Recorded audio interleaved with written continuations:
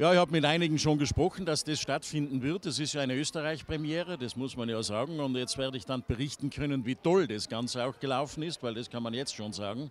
Und ich denke, dass es nicht die letzte derartige Aktion in Tirol und Österreich sein wird. Ich glaube, von da ausgehend könnte man das jetzt schon übers Land verbreiten.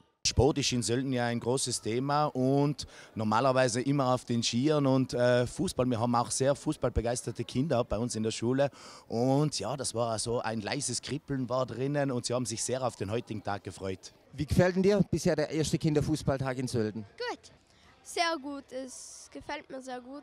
Ähm, ich habe in Star geschossen und dreimal getroffen. Und ist anstrengend? Ja.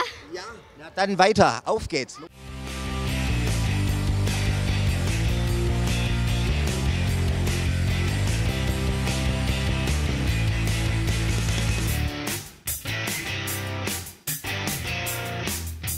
thank